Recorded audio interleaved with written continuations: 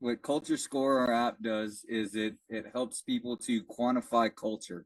Think of it as as Facebook, but only for your team and your ability to curate your culture and then and then compete that way. Uh, creation of the app is built on um, on doing this in the past. So starting with Excel spreadsheets, moving into moving into a bunch of uh, Google Docs and sharing docs and things like that. But there was never an, a way to for users to clearly see their scoreboard.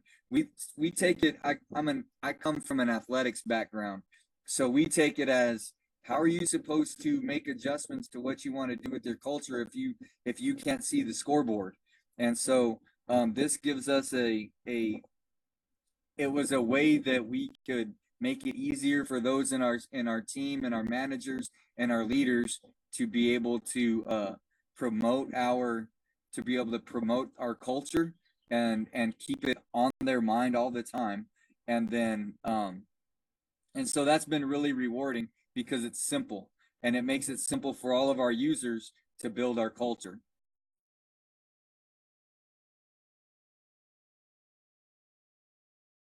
it started from the beginning. I mean, I didn't I didn't know what I was doing in creating an app, and so uh, I knew what I wanted. I knew I knew what I wanted it to do. But um, from Shivali to um, to everybody that's on the team of programmers, uh, they were able to take my vision and and curate it into um, something that's that's pretty amazing